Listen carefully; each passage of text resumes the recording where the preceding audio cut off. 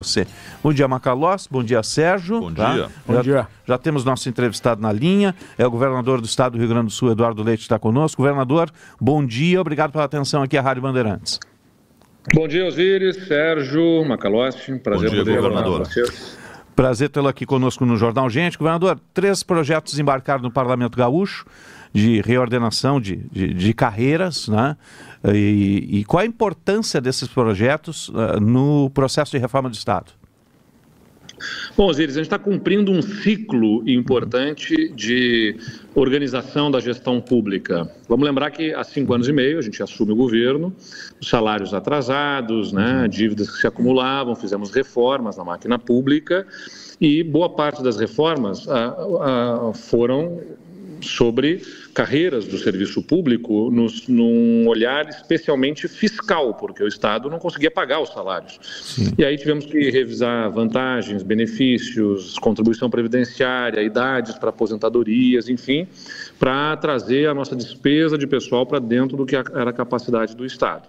De outro lado, a gente sabia que num passo seguinte quando o Estado retomasse capacidade fiscal, precisaríamos fazer uma, um ajuste fino, porque a, a, as vantagens temporais que havia a, na estrutura de remuneração dos servidores acabavam, de alguma forma, compensando ou mascarando as os desequilíbrios entre as carreiras, uhum. para fazer isso ficar mais claro.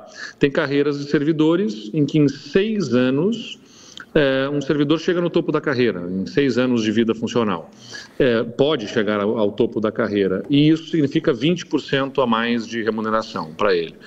Tem carreiras de servidores que levam 26 anos, e isso pode chegar a 124% de avanço em remuneração.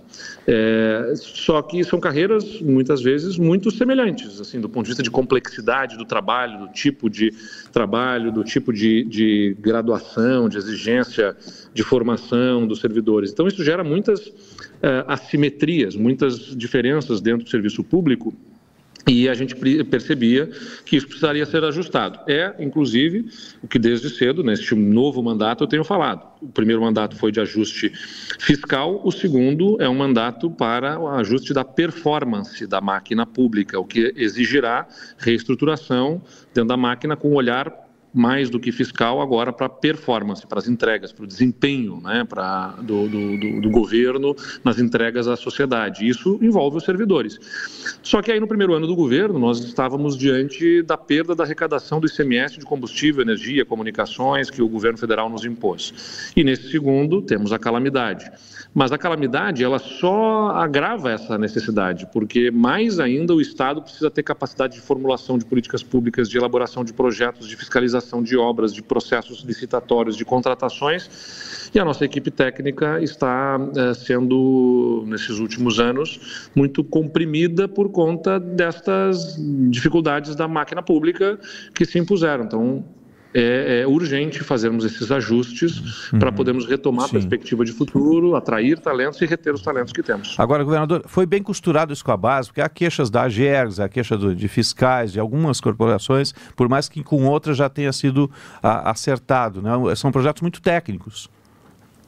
É, naturalmente. Olha, pela uh, pela dimensão do que nós estamos tendo que atingir, porque é, eu costumo dizer, é como puxar um fio e vir o novelo inteiro, né?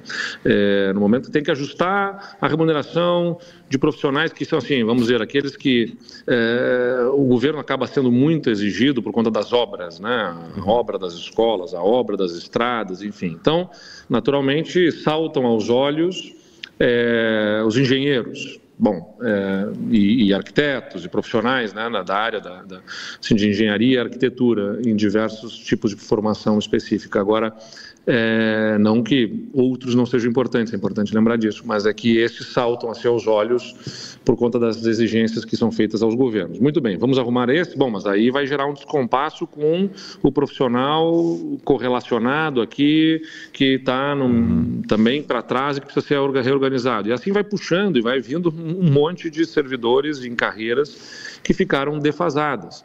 Então, o governo está num grande esforço para tentar endereçar ações em diversas carreiras, mas é importante mencionar aqui, usar esse canal privilegiado que a Band nos permite, para destacar os servidores, que a gente não, não considera que isso aqui é uma reorganização que deixe tudo resolvido ou que completa uh, todas as necessidades. O governo se manterá em condição de diálogo com as diversas categorias para poder ver outros ajustes e que precisam ser feitos. Esses são aqueles que consideramos mais flagrantes, mais urgentes, mais importantes e na dimensão e na, na proporção do que o governo é capaz de fazer agora.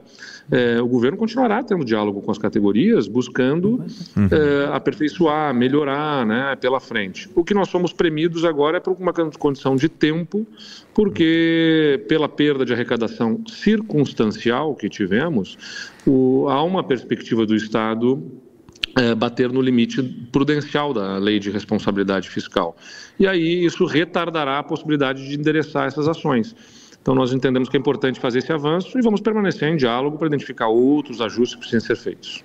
Governador, uh, as críticas ao projeto de servidores são uh, de nas palavras da, de algumas categorias, de mais arroxo salarial, que apertaria ainda mais o, os vencimentos do serviço público de um modo geral e algumas categorias em específico. Obviamente, não conheço o projeto para identificar que ponto sou esse, então lhe pergunto: tem alguma coisa no projeto que possa apertar ainda mais o cinto dos servidores?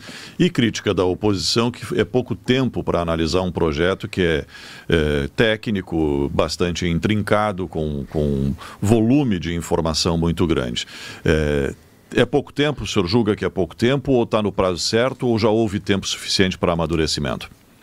A gente sempre procurou fazer tudo com o maior diálogo possível. Fizemos o esforço possível de diálogo no pouco tempo que tivemos. Insisto, ano passado nós estávamos impossibilitados de encaminhar qualquer coisa em função da lei de responsabilidade fiscal. O Estado perdeu a arrecadação por conta daquelas mudanças que a União forçou, na mudança de ICMS sobre combustível, energia e comunicações. Este ano, quando nos preparávamos para abrir o diálogo sobre isso, veio a calamidade, e a calamidade agora nos traz uma perda de arrecadação, que eu insisto que é circunstancial, ela vai se recuperando, mas ela vai impactar nos nossos relatórios uh, do Estado e vai nos impor potencialmente 12 meses sem podermos tratar desse assunto novamente. É, então, é, é, claro que eu gostaria de podermos dialogar mais, ter um pouco de mais de tempo, mas vamos ter que fazer um esforço grande para análise desses projetos, a não ser que é, se tolere ficar mais 12 meses sem podermos tratar desse assunto, na medida em que os relatórios, mesmo que a perda de arrecadação seja circunstancial, é, por dois, três, quatro, cinco meses, que a gente ainda terá uh, de arrecadação abaixo do que prevíamos originalmente, esse, esses meses constarão dos relatórios ao longo dos próximos 12 meses, né? E depois é que eles vão sendo expurgados e vão entrando outros meses lá pela frente. Então, isso, isso nos limita a possibilidade de, de tratar desse assunto pela frente. E, e insisto, a gente tem sido uh, assim atingido por decisões alheias à nossa vontade, ou por fatos alheios à nossa vontade. Primeiro, a perda de arrecadação pela decisão da União, agora pela calamidade.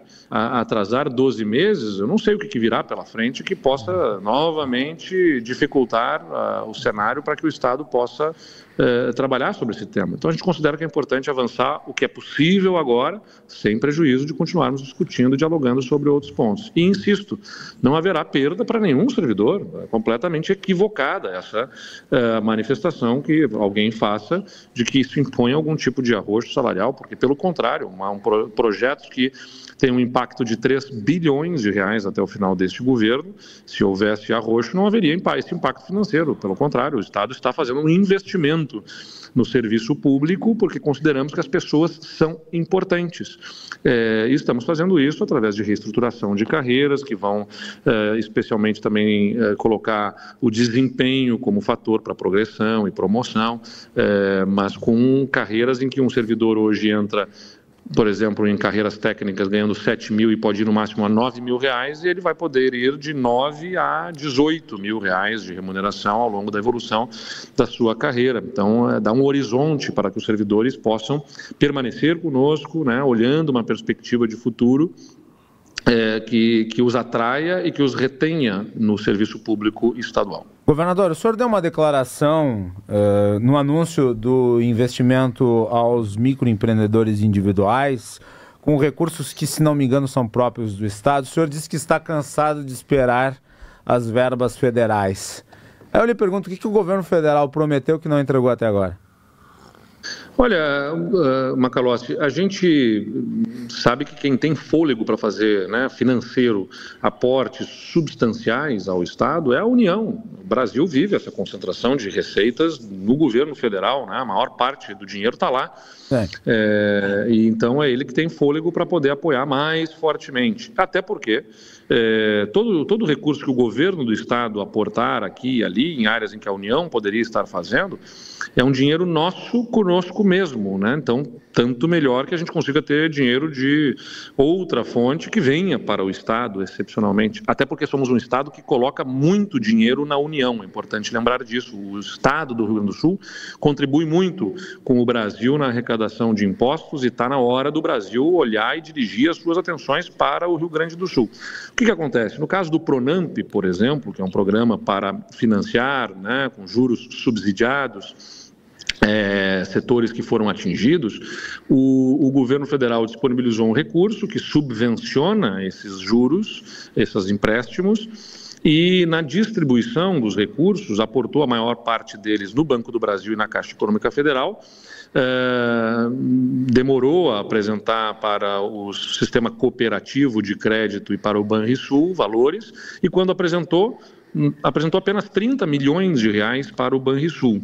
Isso nos causou assim uma, né, uma preocupação. Ora, é, o Banrisul tem uma capilaridade, tem muita relação no interior com muitas empresas que foram atingidas e, e não ter esse maior recurso para o Banrisul acabaria punindo não o banco do Estado, mas as pessoas e as empresas que se relacionam com ele e que foram atingidas uhum. e que teriam dificuldades de acessar esse recurso em outros bancos. Então, é, houve uma promessa de que fariam novos aportes, de que colocariam mais recursos. Eu conversei com o ministro Pimenta, e, e, e, junto com as federações empresariais, e houve uma sinalização de que haveria novos aportes. E não houve, não houve. Uhum. Ficamos esperando, aguardando que houvesse, e não se apresentou nada até agora. Então, é isso. Cansamos de esperar e colocamos 100 milhões de reais do Tesouro Estadual no Banrisul para subvencionar uh, financiamentos a empresas que foram atingidas Sim, eu, Mas eu me refiro aqui ao, ao, ao, volume total de anúncios feitos pelo governo federal. É, é importante ressaltar uma parte desses anúncios diz respeito a verbas que o Rio Grande do Sul teria direito já. Não são recursos novos, são recursos antecipados. São mais de 90 bilhões. Na última vez que eu vi o número, era algo nesse nessa linha, a minha pergunta basicamente é a seguinte: o que, que disso chegou de concreto e o que, que ainda o governo aguarda? É, existem portais que mostram com clareza, né, dos anúncios feitos, é, o governo federal uh, efetivamente implementou 20% do que prometeu. O governo do estado já chegou a 70% do que nós anunciamos. Então, o que nos incomoda substancialmente, assim, são muitos anúncios, muitas solenidades, muitas visitas, muita propaganda, né? E a efetividade desses, desses recursos não é a mesma que os anúncios acontecem. Isso, uhum. Uh, eu vi o ministro Pimenta dizendo, ah, estão politizando. Não, isso não é politizar, é, um, é uma observação de uma crítica de um Estado que está demandando atenção mais célere, mais rápida. Então, vamos ao exemplo, a manutenção de emprego e renda. Foi outra coisa pela qual a gente batalhou muito. Era simples, era só reeditar o que foi feito na pandemia. Simples assim. O, a União já tinha feito isso, o governo federal já tinha implementado, numa situação excepcional, um programa em que o governo federal paga parte dos salários de empresas né, eh, e, e para trabalhadores em empresas que foram atingidas. Aí resolveram criar um outro programa diferente, demoraram para poder regulamentar, Uh, anunciaram que atingiria, atenderia 400 mil, 400 mil trabalhadores a um custo de 1 bilhão e 200. Até agora, o que eles mesmos reportam é que chegou a 76 mil, ou seja, bem menos do que anunciaram. Uhum uh, com 113 milhões, ou seja, 10% do valor que foi anunciado. Na hora do anúncio, muita propaganda, muita, muita solenidade uh, coletiva para isso, para cá, propaganda paga na, na imprensa, para nos veículos de comunicação, para dizer que estão colocando bilhão para cá, bilhões para lá, mas de efetividade, muito menos do que está sendo uhum. anunciado. Isso, isso é o que incomoda, né? E que gera essas reações, não é minha, é da, da, das empresas, das entidades empresariais, dos prefeitos. Está todo mundo muito angustiado ainda. Sim. Porque. Os, os, recursos não chegam. Agora, governador, eh, em que pé está a repactuação da dívida do Estado? O senhor está satisfeito com, com, com a evolução dela? Em que nível está nesse momento? É, bom, é, é, um assunto ainda truncado este, né? É. Complexo. A gente está vendo, assim, houve uma abertura do governo para dialogar sobre isso. O, o, presidente Lula, quando veio ao Rio Grande do Sul, numa oportunidade, disse: não, vamos encaminhar o tema da dívida. Ficamos felizes que isso se abriu, mas ainda pouco evoluiu até aqui. É, quem está puxando esse assunto agora é o presidente do Senado, o presidente Rodrigo Pacheco, que puxa este debate e sinaliza que a coisa deve avançar, então, para uma deliberação via Congresso Nacional, em articulação com o Ministério da Fazenda, é verdade, é o que ele reporta, mas muito liderado pelo próprio Senado. É, e o que, que, preocupa aí? Né? É, a gente vê veículos de comunicação do centro do país fazendo críticas, né? O jornal Estado de São Paulo, a Folha de São Paulo, colocando editoriais contrários a isso, atacando que renegociação da dívida é, dá, é, é, é beneficiar estados ricos que são devedores. E aí eu saliento o seguinte aqui, Osíris e Macalossi e Sérgio, e todos que nos escutam, naturalmente. O Rio Grande do Sul não tem, como outras regiões do Brasil, tem incentivos tributários, como incentivo automotivo que beneficia Nordeste, Norte e Centro-Oeste, como a Zona Franca, que beneficia ah, a região de Manaus. Nós não temos fundo constitucional, que é um recurso público do Tesouro da União, que subsidia juros e empréstimos ao setor privado, também para o Nordeste, para o Norte e para o Centro-Oeste. Nós não temos os royalties que beneficiam o Sudeste do Brasil. Nós não temos companhias de desenvolvimento, como tem a Codevasf para o Vale do São Francisco nós não temos nenhuma ação feita para o Rio Grande do Sul, eh, especificamente, como a União dirige para outros estados brasileiros em outras regiões. E ainda nos tiram 15% da nossa receita corrente para pagamento da dívida, não está certo isso, porque isso sufoca, asfixia o Estado do Rio Grande do Sul na possibilidade de se desenvolver. A única hipótese de conseguirmos suportar esses pagamentos seria se gerássemos, se fôssemos capazes de gerar um, um, desenvolvimento em índices do nosso PIB muito superiores ao do Brasil, que nós temos dificuldade de fazer porque não temos os instrumentos que a União alcança para outros. Então, a União faz com que na disputa, na concorrência entre os estados, outros estados saiam na frente, sejam mais competitivos que o nosso, porque oferece benefícios em outras regiões, eh, ou seja, não nos deixa ter um desenvolvimento mais uh, uh, vultoso e, de outro lado, nos tira a receita. Está errado, uma coisa ou outra. Se a União não quer discutir o tema da dívida, então que alcance para nós os mesmos benefícios que alcança outras regiões. Se não vai nos alcançar esses benefícios, então que pare de demandar do Estado para poder fazer com que o recurso fique aqui e nós possamos estimular o desenvolvimento do nosso Estado. Então, seguimos brigando por isso, não é uma tarefa fácil, politicamente ela é complexa, porque envolve a necessidade de mobilizar no Congresso, com as outras regiões todas, a resolução desse tema, mas a gente confia que possamos avançar uh, em relação a esse assunto com a liderança também agora no Senado. Governador, o senhor citou que o Estado já fez eh, em torno de 70% daquilo que prometeu, que anunciou. Eh, o que, que falta fazer, o que, que é mais urgente agora? Moradia, evidentemente, mas aí é um. É um quem, quem está trazendo isso é o governo federal. Ontem até anunciou mais 11 mil moradias distribuídas em várias, várias cidades, por enquanto só o anúncio. Né? O que, que falta do Estado para ser feito?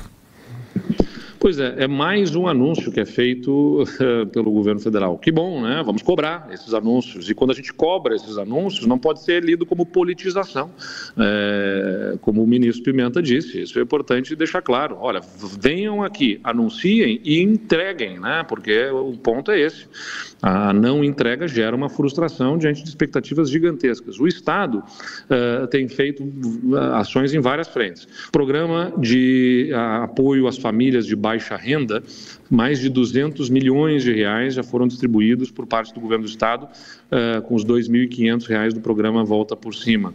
Na, no apoio a, a municípios, que foram atingidos para ajudar a alocar maquinário, equipamentos, no, no, repasse fundo a fundo da Defesa Civil, já foram mais de 300 milhões de reais disponibilizados e também mais uh, eh, 100 milhões de reais em horas-máquina que o Estado tem em contratos seus, mas que endereça aos municípios para ajudar aí em limpeza, desobstrução de vias, né, uh, e obras diversas que são necessárias para os municípios. A gente tem recursos disponibilizados na área da saúde, pelo menos 100 milhões de reais também para apoio a municípios, tanto de postos de saúde, equipamentos, hospitais que foram atingidos, que já foram disponibilizados, né, que já foram hospitais que já estão se reestruturando em função desses recursos que o governo do estado colocou e também a, a parte de construção de moradias dentro do programa do estado, uh, uh, obras que já começam a acontecer em municípios como Santa Teresa, Mussum, Roca Salles, especialmente no Vale do Taquari, e, e, e também outros programas de aluguel social, estadia solidária, enfim, dentro do acolhimento humanitário que inclusive tem também os, os, centros de acolhimento, humanitários de acolhimento, uh, que foram já uh, uh, entregues, inaugurados em Porto Alegre, no Centro Vida, lá em Canoas, uh, numa área que a prefeitura alocou e o Estado viabilizou a implantação de centros humanitários de acolhimento para as famílias que não conseguiram ir para o aluguel social, que não tiveram para onde ir, que precisam continuar abrigadas. Então a gente constituiu esses espaços dignos de acolhimento, com toda assistência para essas famílias, cerca de 5 mil famílias que estão ainda Sim. em abrigos públicos. Governador, é, eu queria aproveitar o espaço aqui, já que estamos chegando no período eleitoral, e lhe perguntar se o senhor acha que vai conseguir convencer o Nelson Marquesan Júnior a ser candidato a prefeito de Porto Alegre. Olha, Macalossi, eu insisto nesta, neste caminho para a capital porque conheço a, assim, a idoneidade, o trabalho, a coragem uh, do ex-prefeito Nelson Marquesan Júnior, que ajudou muito o município a se reestruturar do ponto de vista fiscal, né, os financiamentos que o atual governo da capital tem conseguido alcançar uh, para investimentos são fruto de um esforço muito grande nas contas feitas pelo uh, ex-prefeito Marquesan, fez um trabalho muito importante, tem coragem, liderança para enfrentar os momentos de dificuldades que a capital tem. Mas, uh, as, da, da nossa parte, terá todo o apoio se desejar ser candidato mas a gente respeita a vontade dele. Ele está, acho que, num momento de avaliação, de reflexão sobre isso.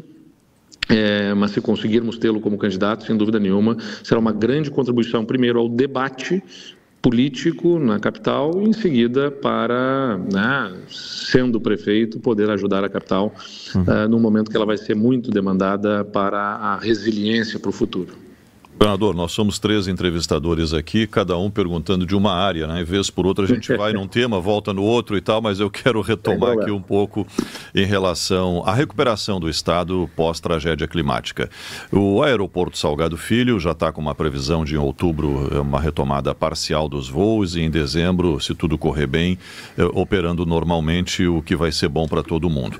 E aí eu lembro, na sua missão à Itália e à Alemanha, que eu acompanhei lá, a negociação para termos um um voo com a Itália, direto de Porto Alegre, com alguma cidade da Itália, Roma ou Milão, isso não ficou ainda muito eh, definido, seria nas comemorações, inclusive, dos 150 anos da imigração italiana. Esses projetos, essas ideias, eh, a enchente eh, levou isso definitivamente ou nós temos condições de recuperar eh, essas perspectivas de termos aqui mais um voo internacional? Hoje tem formalmente o da TAP, né? Porto Alegre-Lisboa, que espero que seja retomado também. E, e qual a perspectiva que a gente tem agora de retomar essas ideias e esses projetos? Eles não foram levados, podem ter certeza. A gente tem que ter um pouco de paciência. Naturalmente, agora as prioridades estão voltadas a recuperar as estruturas e, ato contínuo, em seguida, a gente retoma. E eu diria, assim, com boa expectativa de até mais vigor isso, porque a, o, o, evento climático que afetou o nosso estado nos atingiu nas estruturas, né, mas também gerou uma grande mobilização, uma grande atenção para o estado. É, e muitas pessoas que passaram, inclusive quando eu conversava com o presidente da Itália na vinda dele agora Exato, a Porto Alegre, semana? Exatamente, a gente é, falava muito sobre isso. O quanto que se observa em outros eventos, em outros locais, que em anos seguintes, em um, em um momento seguinte, se observa assim uma retomada com muita força, com muito vigor, né, por conta do ímpeto, da disposição das pessoas e, e é o que a gente observou aqui, tanto na, na, nos resgates, a intensa mobilização da sociedade civil quanto no momento seguinte também de muitos anúncios de empresas que estão aí reafirmando, reforçando e até ampliando o seu plano de investimentos no Rio Grande do Sul por conta da sensibilização eh, gerada por conta dessa, dessa, desse evento climático. Então, eh, nesse momento o foco é voltar até o aeroporto e em seguida voltaremos com muito vigor nessa Uhum. nessas negociações por novos voos aqui para Porto Alegre. Governador Eduardo Leite, obrigado pela atenção aqui à Rádio Bandeirantes, bom dia de trabalho e até um próximo contato. Muito obrigado, obrigado amigos, um abraço e vamos em frente. Bom dia, obrigado, bom trabalho, governador. governador. Um abraço. 9h31, os totós estavam latindo ali atrás, né? Sim, sim, ali, né? exatamente.